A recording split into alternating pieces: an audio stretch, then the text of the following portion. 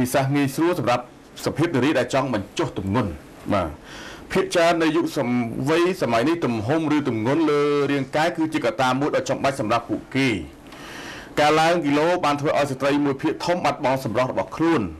ប៉ុន្តែកត្តាឡើងគីឡូឬគីឡូច្រើននេះអាចកាត់បន្ថយបានតាមរយៈទី1ការលេងកម្សាន្ត ការលេងកម្សាន្តក្នុងន័យនេះមានន័យថាការលេងកម្សាន្តទៅលើផ្នែកនៅខាងក្រៅដូចជាការលេងកីឡាការដើរលំហែកាយដូចជាដើរលេងតាមតំបន់ផ្សេងៗព្រោះណាការលេងកីឡាគឺអាចជួយឲ្យរាងកាយរបស់អ្នកមានភាពរឹងមាំនិងឆាប់ស្រកគីឡូផងដែរប៉ុន្តែប្រសិនបើអ្នកមិនចូលចិត្តការធ្វើកីឡាឬក៏អាចជ្រើសការជិះកង់ឬក៏រត់ធ្វើលំហាត់ប្រាណក៏បាន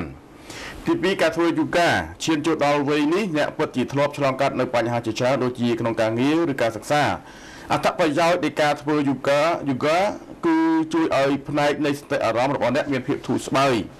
ច្រើននៅពេលដែលអ្នកមានជួបបញ្ហាឬមានអារម្មណ៍ធុញថប់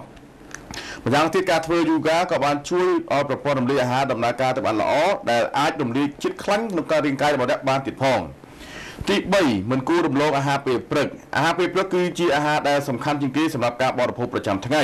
ប្រសិនបើអ្នកធ្លាប់មិនបរិភោគអាហារពេលព្រឹក អ្នកគួរតែបរិភោគវាឲ្យបានទៀងទាត់ពីព្រោះវាជាមូលហេតុមួយដែលធ្វើឲ្យអ្នកឡើងគីឡូអ្នកជំនាញបានបង្ហាញថាការទទួលទានអាហារពេលព្រឹកដែលសមស្របគឺក្រោយ1ម៉ោងក្រោយអ្នកភ្ញាក់ពីដំណេកហើយវាក៏បានផ្ដល់ធម៌ពលដល់រាងកាយរបស់អ្នកសម្រាប់ទ្រទ្រង់រាងកាយរបស់អ្នកពេញមួយព្រឹកតែម្ដងបាទ